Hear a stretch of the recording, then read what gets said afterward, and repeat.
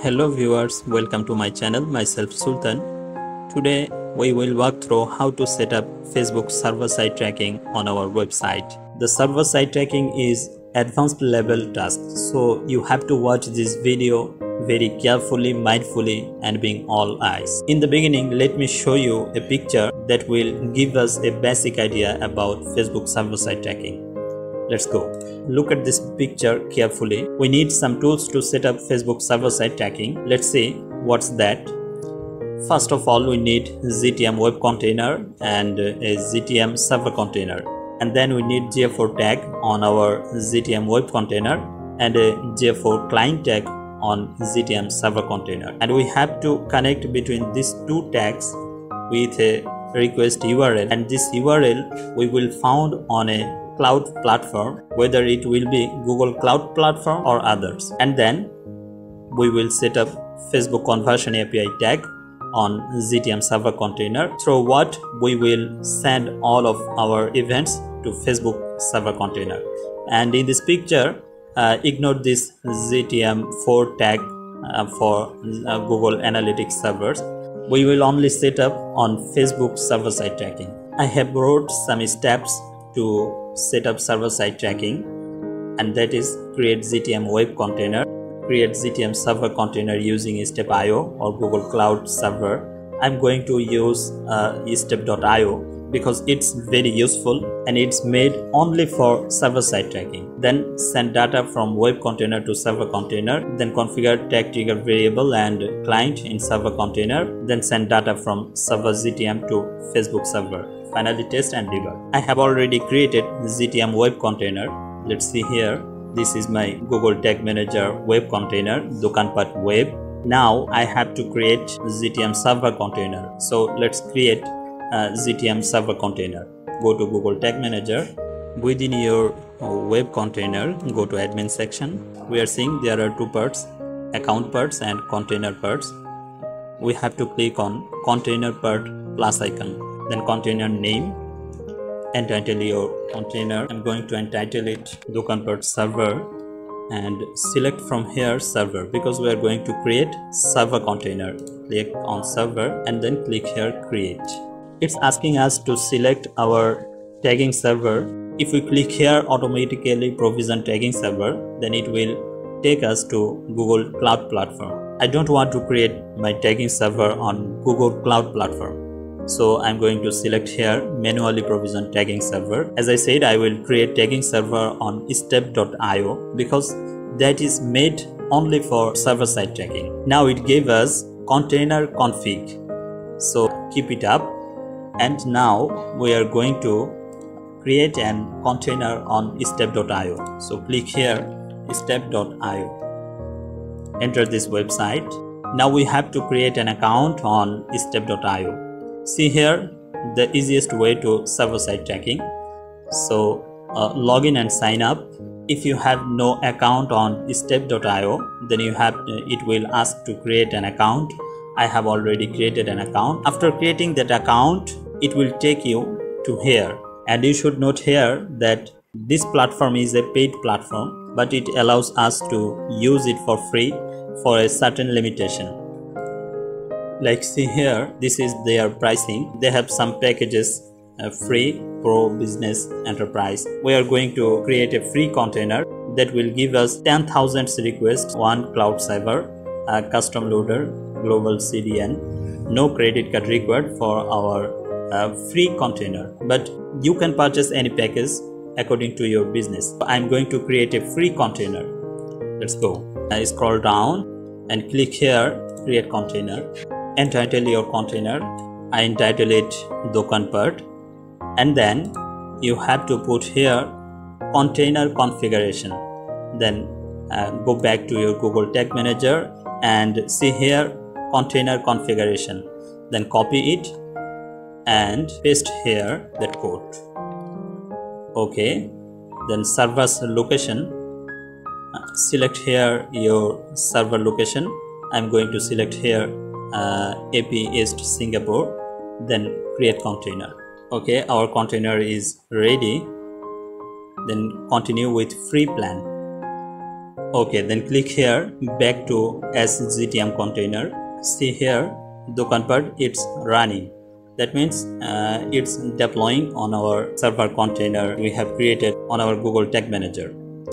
You can also upgrade from here upgrade your container. Now scroll down and see here tagging server urls uh, we will need a while later this url now go to google tag manager close this tab. Now go to admin section and click here container settings. And see here server container urls click add url and put here server container urls go to Stape and uh, copy this url and paste here okay then save. Now go to workspace and submit this version publish. Now let's go back to that picture again. We have created our tagging server and also created GTM server container. Now we have to set up a GA4 client on our uh, server container. Let's go to google tag manager and go to clients. You can see here we have a client named ga4 by default so we don't have to create any clients naming ga4 now we have to create a ga4 tag on our uh, web container. So let's go to google tag manager and i'm going to duplicate it and go to the web container. So open it Dokanpad web container. Go to tags click here new and then entitle it GA4 base code and click on tag configuration and select from here GA4 configuration and put here your GA4 measurement ID. So go to your Google Analytics and uh, copy your measurement ID and paste here. Okay, then check this option send to server container and then put here server container URL. So go to Stape again and copy from here your tagging server URL copy it and paste here then set up your triggering I'm going to set up is all pages and then save. Now submit this version and publish. So you can see here we have created our web container and set up a GA4 tag on our web container.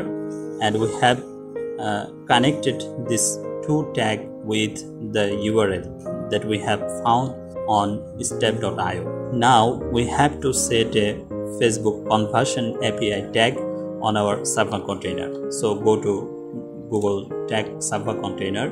To set up Facebook conversion API tag, we have to create a variable at first. Go to variables and then from built-in variables go to configure and select this client name okay it has come here now let's create a triggers click here new and then click here trigger configuration and select from here custom.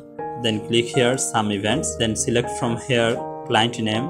In this table select here equals and write here your client name. And that was ga4 then entitle it client name ga4 and then save. Now let's create a tag for Facebook Conversion API. Click on tags, then click on new and then click here tag configuration. Now we have to choose from here a template uh, for Facebook Conversion API. Unfortunately, there is no template for Facebook Conversion API. So we have to go to template gallery and search here writing Facebook CAPI. There is then template conversions API tag by Facebook Incubator we're going to use it. So click here then add to our workspace then click here add. Now it's asking us to put here our pixel id so go to your events manager and select your pixel. I have created this pixel for my website and select from here settings tab. Then you will find here dataset id that means your pixel id so click here to copy and then paste here. Then put here api access token go to again your events manager and scroll down go to conversions api section and then generate access token. Click here and copy this token. Go to google tag manager and uh, paste here access token. Then put here test event code. When our server-side tracking setup will be completed we will need to check and test it. Is it working properly or not? So put here test event code go to events manager again and go to test events tab. Select from here confirm that your server's events are set up correctly. And then you will find here test event code. So copy it and then paste here. Okay then select triggering and the trigger will be client name ga4 that we have created a while ago. So select it and then save the tag name will be conversions api tag okay? Then click save. Okay we have created our tags and now submit this version. And then publish. Let's submit your web container again. Submit here and then publish. Let's see again that picture. We have set up all of this and we have set up also facebook conversion api tag now our tagging setup is complete. So what we have to do now we have configured tag trigger variables and client in server container. Now we have to send data from uh, server gtm to facebook server. Now it's time to check and test. Let's go. Go to your Google Tag Manager server container preview mode. And also go to your uh, GTM web container preview mode then put here your website URL and connect. And we should also go to our events manager. Let's see here. If you go to overview then we will see just one activity that is page view and uh, that came from browser side. Now we will see here that our page view event is coming from browser side and server side together okay? This is our website. Debugger is connected go to tag assistant and click here continue. Then we can see here our facebook pixel base code is fired and ga4 base code also fired. If you go to our gtm server container then you can also see here our conversion api tag is fired one time and it received a event that names page view. So this page view event is should go to our events manager also. Let's go to events manager and go to test events and go to confirm that your website events are set up correctly. Click here and then put here our website url and open website. Okay let's visit a product. Let's go back to events manager. You can see here the page view event is came from server side and came from browser side together. So viewers we can say our facebook server side tracking is set up properly completely. And now we have to configure uh, other events like view content add to cart checkout and purchase and so so. I have just showed you in this video how to set up server side tracking and if you have any doubt about any part of this video then let me know. I will clear your doubt. I am a professional data driven marketer. I'm providing these services Google Ads, Facebook Ads, Google Tag Manager, Google Analytics, Facebook Pixel, Conversion API, and server side tracking. If you need any service uh, about one of them, then you can place order on my Fiverr account or on my Upwork account. Otherwise, you can also contact me on my WhatsApp number and on this Gmail. So that's it today. Thank you so much. See you in another video. Until then, goodbye.